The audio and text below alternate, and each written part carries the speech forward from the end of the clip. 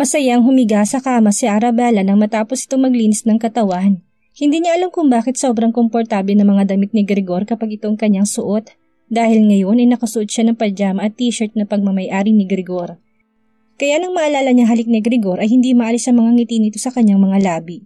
Panay ang ikot niya sa kama habang si Gregor naman ang naliligo sa banyo. Gusto kong kainin ako ng lupa, isip-isip ni Arabella kasunod ng pagbukas ng pinto sa banyo. Bumungad sa kanya si Gregor na walang pantaas na damit pero may pambaba. Hindi niya maiwasang malaki ang mga mata dahil ang six-packs abs nito ay kitang-kita. Pati na rin ang tattoo nito sa gilid ng katawan ay nakadagdag ganda. Napansin niyan tumingin sa kanya si Gregor kaya agad itong umiwas at tumingin sa iba. Do you like the view? Tanong ni Gregor at napalunok na lang si Arabella dahil talaga namang napakaganda ng view. Sumabay pa sa isipan niya yung halik nila kanina kaya hindi niya maiwasang kagatin ang kanyang labi para hindi mapangiti sa kilig. Are you sick? Alalang tanong ni Gregor sa kanyang anghel dahil para na itong kamati sa sobrang pula. Umiling lang naman ang dalaga dahil sa hiya. Magbihis ka muna, nahihiyang sabi ni Arabella at agad din naman itong nagbihis para kausapin ang dalaga. Are you going to marry me if I ask you? Biglang saad ni Gregor at talaga nalaki ang mga mata ni Arabella nang dahil sa sinabi nito. Are you kidding me, Gregor? Hindi makapaniwalang tanong ni Arabella tumiling lang naman si Gregor. Hindi niya alam kung tatalon ba siya dahil kanina pa talaga ito kinikilig simula sa kanyang department. Gusto ko kaso, sad ni Arabella. Natatakot ako may masabi sa akin ng mga tao. Sumimangot ito at kahit na ganun ay hindi makapaniwala si Gregor sa sinabi ng dalaga. Hindi niya akalain na papayag pa rin ito agad. Kahit na tinanong niya lang naman ito kung papayag siya kapag pinakasalan niya ito. Parang gusto niya tuloy pakasalan na agad ang dalaga para masabi niyang kanya na ito. Total wala namang masama at pareha silang may nararamdaman sa isa't isa. Walang mangyayari sa iyo kapag akong naging asawa mo. Proud na tugon ni Gregor at lumawak ang mga ngiti ni Arabella. Ang magandang mga ngipin nito at ang pagsingkit ng mga mata niyang bilog na bilog na parang isang Barbie. Gregor stroked her hair. Let me marry you, Ara. Parang masasiraan ako ng ulo. Bulong ito sa dalaga dahilan na magtayuan ang kanyang mga balahibo sa sinabi ni Gregor. Kasunod nun ang paglunok niya sa sariling laway. Gusto niya na rin maging asawa ang lalaki nasa harapan niya, kahit sobrang bilis ng pangyayari. Ara. Parang pausang boses ni Gregor nang tawagin niya ang dalaga at kasunod nun ang paglapat ng mga labi nila sa isa't isa. Nakaramdam sila ng init ng katawan dahil parehas nilang hindi pa nararamdaman ng ganitong sensasyon ang kamay ni Gregor ay patungo sa mga batok nito para mas lalo pang lumalim ang kanilang paghahalikan. Maging si Gregor ay hindi alam ang gagawin. Basta ang alam niya ay walang masama sa kanyang ginagawa. Dahil ito naman ay kanyang anghel. At once na pumayag itong magpakasal sa kanya, ay agad niya itong yayayain para magpa-register. Para kay Gregor ay ayaw niya malaman ng iba na magpapakasal sila kapag pumayag na ang dalaga. Gusto niya rin ito itago sa kanyang magulang, maliban kay Argus at Frago. Balak niya ng dalawang ito ang maging witness sa kasal nila. Tutal wala si Simon, kahit hindi pa ito yung grande tulad ng pangarap niya sa kanyang anghel. Habol hininga silang dalawa nang humiwalay sila sa kanilang pagkakahalik. Ang mukha ni Arabella ay sobrang pula na sa kahihiyan. Ang dibdib nito'y panayan tibok na parang hinahabol siya isang mabangis na hayop.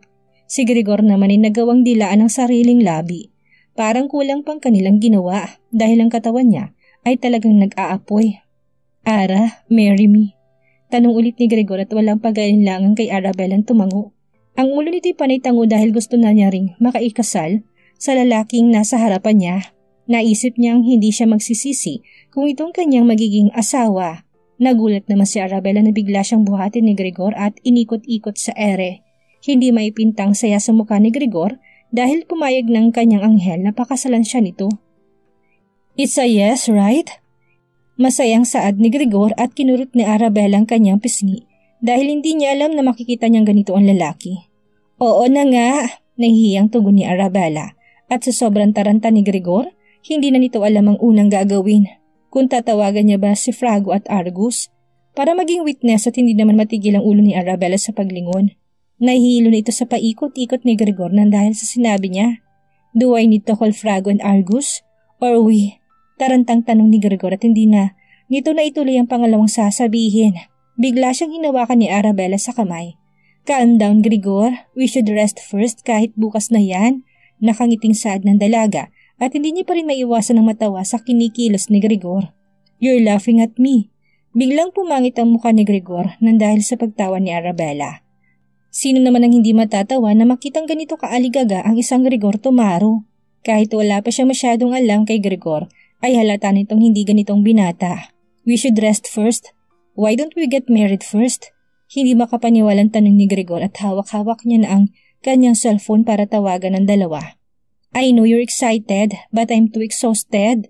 Sabay inat ni Arabella sa kamat wala namang nagawa si Gregor.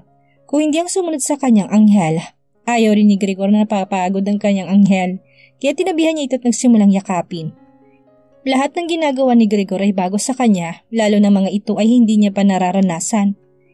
Pumasok bigla sa isip niyang kanyang ama si Damon Tomaro.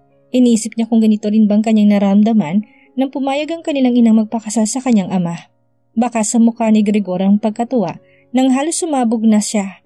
Habang si Arabella naman ay kinikilig habang magkayakap sila ni Gregor, ang dalawang ito'y nakatulog ng mahimbing. Inintay na lamang ng demonyong araw upang maging tuluyan na maging sa kanyang anghel. Kinabukasan, ang isang lalaki nakaupo sa swivel chair ay wala sa mood dahil nautusan lang naman siya ng kanyang ina na hanapin ang bunsong si Simon.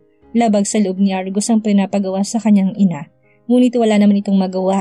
Nakatingin ito sa relo habang patuloy lang ang ikot nito Kasunod nun ng pagpasok ng sekretary niya si Cassie. Boss Argus, hindi namin mahanap ang inyong kapatid. Masyado talaga siyang magaling. Pagpapaliwanag ni Cassie kay Argus at sa menyas lang ito na pwede na siyang lumabas. Napahawak si Argus sa kanyang ulo at iniisip kung paano niya mahahanap ang kanyang kapatid. Tamad man si Simon at puro pambababae lang alam nito, ngunit kahit ganun ay may talento rin ito, siyang katulong ni Gregor sa tuwing may kailangan itong ipatrack sa kanya. Ang talentong ito'y nagagamit nila para mas mabilis nilang mahanap ang kalaban. Isa kasing hacker si Simon Tomaro.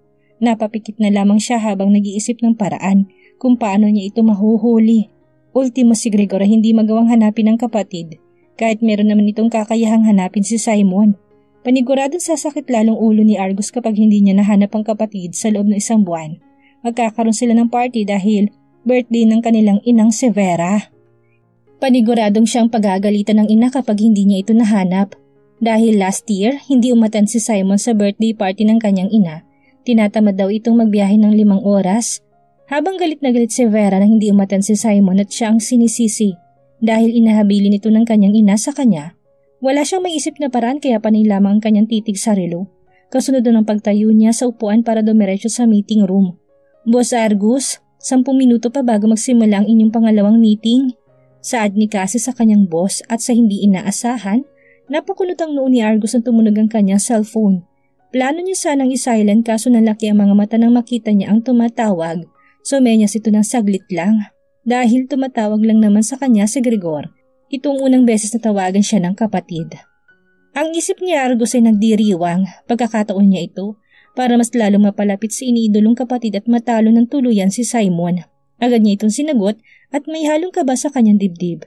Ito kasing unang beses na tumawag ang kanyang kapatid. Argus, tumaas ang balahibo nito nang marinig niya lamang ang pangalan niya. Brother Grigor, tawag niya habang nauutal pa. I need you as a witness. Tugon ni Grigor at napangangan naman si Argus. Hindi ito akalain na may mangyayaring hindi maganda sa isang mafia king. Brother, where are you? I'll go there. May nakakita ba sa'yo na pinatay mo siya? I'll call Cassie right now. Tarantang sabi ni Argus. Sa kabilang banda, si Gregorio nakikinig sa kapatid ay hindi maipintang muka. Napahawak siya sa kanyang sintidot na pabugas sa hangin. Where are you brother? I help you out. Nag-aalala sabi ni Argus at ito ang patunay na mahal na mahal niyang kapatid. Can you calm down? Wala akong pinatay. Tugon ni Gregor at kumunot naman ang noon ni Argus. Bakit siya nito kailangan maging witness? Napakamot sa ulo si Argus bago tanungin ng kapatid. Then, why do you need a witness? Takang saad nito habang inintay siya ni Cassie at magsisimula ng kanilang meeting. I need a witness because I'm getting married today, sabi ni Gregor. Ah, you're getting me. Hindi na naituloy ni Argus ang sasabihin dahil sa gulat. Hindi maiwasan ito na malaki ang mga mata habang iniisip kung mali lang ba siya nang narinig. You said you're getting married today? Sigaw ni Argus dahilan na pumasok bigla si Cassie sa kanyang opisina. Narinig nito sumigaw ang kanyang boss at inaakala may nangyari na hindi maganda. Napapikit si Argus bago tumingin kay Cassie. Get the car! Utos nito kay Cassie at hindi naman ito maintindihan ang ibig sabihin ni Argus.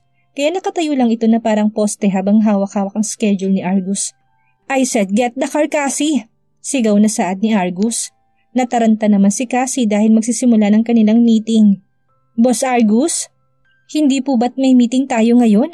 Pagpapaalala ni Cassie pero hindi naman nakikinig si Argus sa mga sinasabi nito. Bagkus, patuloy lang siya sa paghahanap ng gamit na kailangan niyang dalhin. I need the car, Cassie. You should cancel the meeting. Tugon nito at nagsimula ng lumabas ng kwarto. Hindi pa rin napasok sa utak ni Cassie kung ano nga ba talaga nangyayari. Is that important, boss? Tanong ni Cassie at saka sumakay ng tuluyan sa kotse. At the court, my brother's getting married today.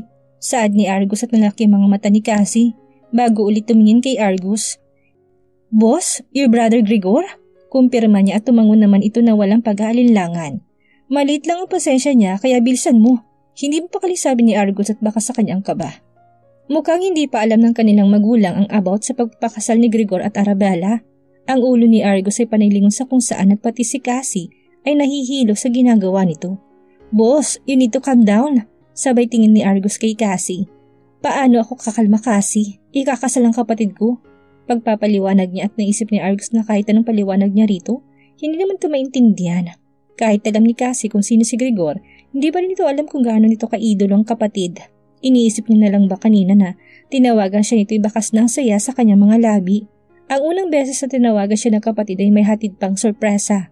Nagawa niyang humingi ng tulong kahit ang isang Gregor Tomaro hindi naman humihingi ng tulong. Mahigit sampung minutong tinagal nila sa biyahe. Pagpasok nila sa loob ay halos malaglag ang panga nila ni Cassie.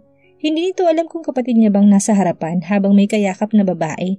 Napatingin ito sa gawin ng isang lalaki na nakatayo sa gilid. Ang mukha nito ay parang pinagsakluban ng langit at lupa. Puno ng pagtatakang mukha nito. Parang sila lang din. Ang lalaking ito ay walang iba kung hindi si Frago. Lumapit sila rito at hindi na alam kung anong nangyayari. Second yung master. Hindi ba nasisiraan na ako ng ulo? Tanong ni Frago.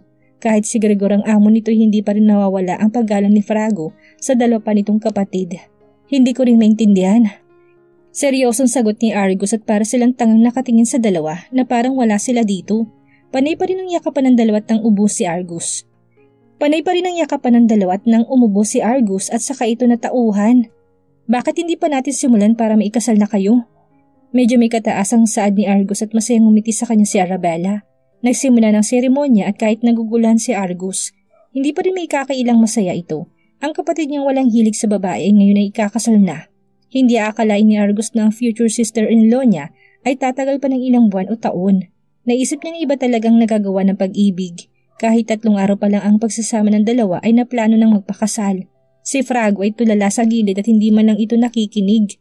Bagkus, nakatingin lamang siya sa dalawang nagmamahalan sa unahan at hindi niya maisip na ikakasal ng kanyang boss. Hindi na lamang si Gregor ang kanyang boss, pati na rin ang dalaga sa tabi nito. Sigurado kasi na pagkatapos nito isa na siyang ganap na Arabella Tomaro. Matagal na rin gustong makita ni Frago na magmahal ng isang demonyo. Hindi naman siya nabigo dahil binigay ng Diyos ang panalangin niya. Mukhang sumobra pa nga. Hindi naman niya akalain na ganito pala ka-possessive ang isang Gregor Tomaro. Gagawin nito ang lahat para maging kanya ang kinahihiligan nito. Kalahating minuto rin ang tinagal nito bago dumating sa punto na hinihintay nila. Ang mga kamay nila ay kusang dumiretso sa kanilang mga mata para takpan ito. Ngunit kahit na ganun ay kita pa rin nilang nangyayari dahil hindi naman nila tinatakpan ang kanilang mga mata ng maigi. You may now kiss the bride. Halos magtayuan ang balahibo nila nang makita nilang halikan ni Gregor si Arabella. Si Argus na kanina pa wala sa sarili hindi makapaniwalang kasal ng iniidolong kapatid. Pinagmasdan nilang lahat ang bagong kasal at sumasakit lang ang ulo ni Frago kung paano niya ngayon pagtakpan ng dalaga. Hindi tatagal at malalaman rin ng iba na ito ay asawa ng Mafia King. Ang takot sa katawan niya ay nagsimula na dahil bakang kinikatakot nitong malaman ng kalaban nila at si Arabel ang gawing pain para kay Gregor. Lubos ang pag-iisip ni Frago pero agad din itong naudlot nung marinig niyang magsalita si Argus. Brother, ibabalita ko ito kay mom and dad. Masayang tugon ni Argus ngunit pinigilan ito ni Gregor. No, you're not going to tell this. Protesta ni Gregor habang nakatingin sa kanyang asawa. But brother, Mom will gonna kill you if you didn't tell her. Kinakabahang sabi ni Argus at maging si Frawi natatakot na rin. Hindi nito alam kung ano nga bang nasa utak ng kanyang boss. Bakit ayaw nito malaman ni Master Damon at Madam Verang about sa kasal nila ni Arabella? Mukhang matutulungan pa nga nila si Arabella na maging ligtas kahit saan ito magpunta. Kaya bakas ang pagtataka ni Frago sa sinabi ng Mafia King. Sasabihin ko sa kanila kapag handa na kami. Walang dapat ikatakot. Pagpapaliwanag ni Gregor at huminga naman ng malalim si Argus at Frago. Wala naman silang magagawa kung hindi hintayin ang utos nito. Ayaw din ni Argus na mabigong kanyang kapatid, lalo na't iniidolo niya ito. Natatakot lang siya na siya naman ang mapagalitan ng kanyang ina. Mas lalong sumakit ang ulo niya nang maalala niya si Simon. I'll kill that bastard if I get him. Isip-isip ni Argus dahil wala siyang maisip na paraan para mahuli ang kapatid. Sa kabilang banda, hindi makapaniwala si Arabella nang yun ikasal na siya kay Gregor. Pinagmasdan nitong suot niyang singsing at ang dalawang ito ay parang magnet na at hindi na pakaya pang paghiwalayin. Ang kamay nila ay magkadikit habang naglalakad patungo sa kotse at pauwi sa Tomorrow Hacienda. Labis ang saya ni Gregor at kahit gusto niyang ipagkalat sa buong mundo na ang anghel na kasama niya ngayon ay kanyang asawa, kahit na ano pa man ay hindi-hindi na sila mapaghihiwalay pa. Pero dahil sa pagpapakasal nila ni Arabella ng mas maaga, may takot na namumuo sa katawan niya. Agad na ikuyom ni Gregor ang kamay at halos tumunog ang mga ngipin nito. Sa puwersa ng kanyang pagkagat, ang kinakatakot niya lang naman ay ang mapahamak ang kanyang asawa nang dahil sa kanya at malaman ito kung anong ginagawa niya. Bigla na lamig ang buong katawan ni Gregor na sila ay makasakay na sa kotse. Gregor, ayos ka lang ba? Nag-aalalang tanong ni Arabella sa kanyang asawa. Ang dalawang pala nito nakalagay sa pisngi ni Gregor. Wife, I'm fine. Nang dahil sa binulong ni Gregor ay halos magtayuan ang kanyang balahibo. Hindi dahil sa takot ko, hindi dahil sa kilig. Ang kanyang mga labi ay kusang umingiti na parang isang laruan ng manika. Habang si Frago ay tahimik na nagmamaneho ay gusto niyang kainin siya ng lupa. Dahil nasasaksiyan niya ang bagong kasal. Lalo ng boss niya na sobrang hihin pagdating kay Arabella. Tumataas ang balahibo niya sa takot kaya hindi nito magawang tingnan ng dalawa sa salamin. Gregor, kinikilig ako sa iyo kaya wag kang ganyan. Nahihiyang sabi ni Arabella at mahinang tumawa si Gregor. Mas gusto ko nga yan. Bulong nito at mahigit 20 minuto ang tinagal na sila'y makarating sa Tomaro Hacienda. Pagpasok pa lang ng dalawa sa loob ng bahay ay hindi na nila napansin ng mga taong bumabati sa kanila. Basta ang alam nila ay kasal na sila't masaya sa naging desisyon nang bigla ang bumulong si Arabella. Gregor, I'll kiss you if you catch me. Kasunod doon ang pagtakbo ni Arabella sa buong bahay Tuluyan ang hindi napansin ng dalawang mga tao sa bahay. Tila ba sila lang ang nakatera dito at parang tumakbo ng tumakbo. Ang dalawang ito ay pinagmamasdan ng lahat habang kitang-kita nila kung gaano kasayang kanilang eldest young master. Panay ang ikot nila sa buong bahay at ang ngiti nilang dalawa ay nakakahawa, lalo na't nakita nila kung paano ngumiti at tumawa ang isang demonyo. Bago man sa kanilang paningin ng ganito ay nagpapasalamat pa rin sila kay Arabella dahil lang madilim na liwanag ng dahil sa dalaga. Na mapagod ang dalawa sa pagtakboy agad din ito dumiretso sa kwarto para humiga. You failed, Grigor. Hindi mo naman ako nahabol. Natatawang sabi ni Arabella. Habang inihingal ito tagad siyang dinaganan ni Grigor. Gotcha. Sigaw nito sabi at panayang irit ni Arabella dahil sa ginawa nito. Madaya ka? Hindi ko naman ako nahabol kanina. Nagpuprotesta nito habang dagan-dagan pa rin siya ng demonyo. At least, I got you. Pabulong na saad ni Gregor at nagkatitigan ng dalawa nang biglang maglapit ang kanilang mga mukha. Ang paghinga nila ay halos dumampi na sa kanilang balat sa sobrang lapit. Napalunok na lang si Gregor at tumingin sa mapupulang labi ng kanyang asawa. Iniisip nitong wala ng kawalaan dalaga dahil hindi niya nahayaang maagaw ito ng iba. Kung dapat pa niyang ibenta ang sarili sa demonyo, kahit demonyo na siya, kanya pa rin itong gagawin para sa anghel niya. Hinawakan ni Gregor ang munting labi ng kanyang asawa at hindi niya alam kung bakit pinasok niya ang dalawang daliri sa bunganga nito. Dahilan na lumitaw ang kanyang dila at pinaglalaroan nito ang kanyang daliri. Nakatingin lamang dito si Gregor at umiinit ang kanyang katawan para bang nangyari na naman sa kanyang init na naramdaman niya noong hinalikan niya si Arabella. Nagtataka si Gregor at iniisip nitong baka may problema na sa kanyang katawan. Pero nang maramdaman niyang puno na ng laway ang kanyang mga daliri ay agad niya itong tinanggal. Habang pinagmamasdan ng asawang hinihingal, mas lalo pa siyang natetempt na halikan ito. Can I kiss you? Pagpapaalam ni Grigor at nilagay lamang ni Arabel ang kanyang mga kamay sa batok ng asawa. Unti-unti siyang nilikan nito at na ramdam nila ang katawan nilang nagdidikit at nakakaramdam ng init. Kusang gumalaw ang mga kamay ni Grigor patungo sa likuran ng ulo nito. Minsan ay nagagawa niya pang idiin ng konting ulo nito para mas lalo niyang maramdaman ang labi nito. Tuloy na sanang ipapasok ni Gregor ang isang kamay patungo sa loob ng damit ng asawa. Ngunit agad din naman siyang nahimasmasan at humiwalay sa kanilang pagkakahalik. Ang dalawang ito'y hinihingal sa kanilang ginawa at napapangiti na lang sila na pagmasdan ng isa't isa. You're now my wife, Arabella Tomaro. Hinihingal na sabi ni Gregor at tumango naman ito sa kanya. Hinalikan ni Gregor ang asawa at tinulungan niya itong ayusin ang susuotin na pambahay. Kahit gusto na ni Gregor na mas lumalim pang kanilang ginagawa, ay agad niyang pinipigilan ang sarili. Ayaw nitong gawin agad ang kanyang sariling kagustuhan at gusto niya kapag medyo matagal na sila. Para naman masabi niyang walang pinagsisisihan sa kanya si Arabella at ayaw niya rin na madaliin ang asawa lalo na tilang araw pa lang silang nagsasama. Naisip ni Gregor na bumuo muna ng alaala kasamang asawa para naman ma-enjoy ni Arabella ang kanyang buhay. Naisip niya na magbakasyon sila sa ibang lugar at yun na ang regalo niya. Halata naman kasi si Gregor na hindi mahilig si Arabella sa mga mamahaling alahas tulad ng ibang babae. Ang akala kasi ni Gregor ay wala ng babaeng hindi tumitingin sa kayamanan. Ngunit nagkamali siya dahil ang asawa niya ay hindi mahilig sa mga ganito at masayahin talaga itong tao. Saan mo gustong pumunta? Pupunta tayo, saad ni Gregor habang tinutulungan niya itong mamili na susuotin. Kahit saan? What do you mean by kahit saan? Takang tanong ni Arabella at kinuha nitong Paris na pantulog. Where do you want to go? Amerika, Korea, Japan? Tugon ni Gregor at nabanggit pa siya ng tatlong lugar para may idea ito. Kahit saan? Let's go to Paris para makita natin yung Eiffel Tower. Masayang saad ito tumatalon pa sa kama na parang bata. Baka sa mukha ni Gregor ang pagkatuwa kahit na ilang beses na itong nakita ang Eiffel Tower dahil sa mga gang business nito, hindi niya may pagkakiilang napaka-cute ni Arabelle at nagiging bata ito sa tuwing may gusto. Napagtanto niyang hindi pa talaga nakakapunta sa iba't ibang masa ang kanyang asawa kaya tinatak niya sa kanyang isipan na dadalhin niya ito sa iba't ibang lugar. We will go there tomorrow, tugon ni Grigor at nalaki naman ang mata ni Arabella at hindi makapaniwala sa sinabi ng asawa. As in tomorrow? Medyo pasigaw na sabi nito tagad niyang niyakap si Gregor sa sobrang tuwa. Makikita ko na rin yung Eiffel Tower. Sabi kasi nila, magandang pumunta doon kapag kasama mo yung taong mahal mo. Kinikilig na saad ni Arabella at natuwa naman si Gregor dahil binanggit itong mga salitang makakapagpagaan sa kanyang loob. Bakit hindi ka pa ba nakakapunta sa Paris? Tanong nito kahit alam niya naman na hindi pa nakakapunta ang asawa sa Paris. Biglang umuso si Arabella at umiling-iling at nagmukha itong pato pero kahit na ganun ay napakaganda pa rin itong tingnan. Hindi pa, kaya nga gusto ko dun pumunta.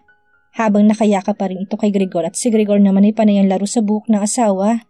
Biglang napabalikwas si Arabella dahil ang cellphone niya ay biglang tumunog. Napatingin si Gregor sa kanyang asawa dahil hindi nito alam na may pinagbigyan na ito ng number. Pagbukas ni Arabella sa kanyang cellphone ay nakahinga naman ito ng maluwag at agad ding nawala ang pagkunot ng kanyang noo. Arabella, thank you sa cookies na binigay mo. Nagustuhan ng mama at papa ko pati na rin ng mga kapatid ko. Basa ni Arabella sa cellphone at napangiti naman ito agad. Kahapon kasi inabutan niya ng calling card si Helena. Nagbabaka sakaling makatulong siya rito kapag may problema ito. Why are you smiling? Who is that? Galit na sabi ni Gregor habang ang kamay nito ay nakaikom. Senyas lang na galit talaga ito at balak niyang sanang agawin ng cellphone pero nilayo ito ni Arabella. Gregor, maliligaw ko? Pabirong sabi ni Arabella talos mamula na sa galit si Gregor. Agad tinawagan si Fragot sa harap pa mismo ng asawa. Ang galit niya ay umaabot na sa kanyang utak at hindi na ito makapag-isip ng tama. Basta ang gusto niya ay maturuan ng leksyon na lalaki na naliligaw sa kanyang asawa. Pakihanap ang lalaki na naliligaw sa asawa ko. I kill him right now. Pagkasabi na ni Gregor, ang tulog na diwa ni Frago ay biglang nagising. Agad niyang naisip na may problema na agad ang kanyang boss nang dahil sa asawa nito talos mapakamot na siya sa ulo. What are you saying, Gregor? Pasigaw na sabi ni Arabella at rinig na rinig naman yun ni Frago kahit nasa kabilang linya siya.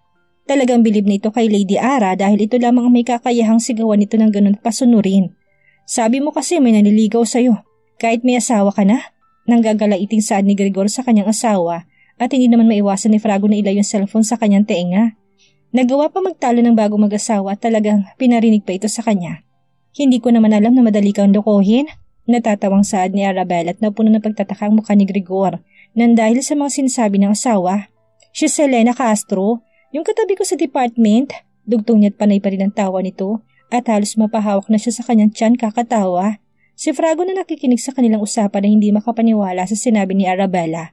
Nagawa niya lang naman sabihin sa isang mafia king ang ganun na salita. Kasunod doon ang pagpatay ni Gregor sa tawag nila ni Frago at hindi nito maisip na naloko siya ng kanyang asawa. Pero hindi naman nakapagtataka dahil paano naman magagawang magloko ng isang anghel. Napailing si Gregor at lumapit sa asawa para yakapin ito at basahin ang text ni Helena. Binigyan ko siya ng cookies kahapon kaya nagpapasalamat siya. Pagpapaliwanag ni Arabel at nawala naman ang galit na galit na demonyo sa katawan ni Gregor at pinagmasdan ng asawa.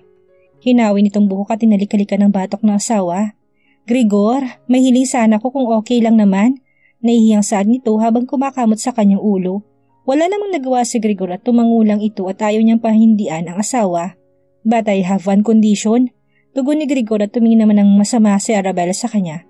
Andaya mo naman eh, at natawa si Gregor dahil nagsisimula namang maging batang kanyang asawa. Dan hindi ako papayag. Sabay tayo ni Gregor sa pagkakaupot kunwaring nagtatampo-tampuhan ito. Sorry na Gregor, sige na nga, ano na nga muna yun? Pagmamaktol ni Arabel at iniisip nito kung anong kapalit na hinihiling ng kanyang asawa. Labis na agad na pag-iisip ni Arabella dahil baka kung anong hilingin nito. I wanna dance. Sabay hila nito sa asawa at nilagay ni Gregor ang kanyang mga kamay sa bewang ni Arabella at nagsimulang umikot-ikot. Eto na yon, magsasayaw lang tayo. Hindi makapaniwalang saad ni Arabella habang sinasabay ng tugtog na galing sa cellphone ni Gregor. Why? You don't want to dance? Tanong ni Gregor na may halong lungkot habang sumasayaw sila sa gitna ng kwarto. Ngunit umiling lang ang asawa niya at ngumiti sa kanya. I want to, but grant my wish, hiling ni Arabella at nag-thumbs up naman si Gregor. Tell me what is it? Habang ang kanilang mga katawan ay panay sunod sa tugtog ng kanta, pwede ba nating isama si Helena? Mabait kasi siya Gregor. Dahil sa sinabi ni Arabella hindi maisip ni Gregor kung bakit bigla nitong gustong isama isa sa mga katrabaho niya. Ang pagsayaw nila sa gitna ng kwarto na tigil bigla at hindi alam ni Gregor ang sasabihin sa asawa dahil ayaw niya na may istorbo sa kanila. Ngunit naisip niyang wala naman siguro masama kung isama nila si Helena at para may makausap si Arabella. Okay sige, pero sa isang kondisyon, kapag sinabi mo kay Helena about sa atin, hindi dapat makarating ito sa iba dahil ayaw ko mapahamak ka. Nag-aalala saad ni Gregor habang pisil-pisil ni Arabella ang kanyang pisngi. Matatakot yun sa'yo kaya hindi niya ipagkakalat at saka mabait naman si Helena. Siguradong sabi ni Arabella kahit isang beses na palang itong nakita. I believe in you. Bulong ni Gregor, sabay halik sa noon nito at tinuunan nila ang kama upang magpahinga. Ano kayang mangyayari ngayong asawa na ni Gregor si Arabella at ganap ni isang tumaro? Ang pagpapakasal kaya niya sa binata ang maging dahilan para mapahamak ang kanyang buhay? Yan ang ating aalamin sa susunod nating kabanata.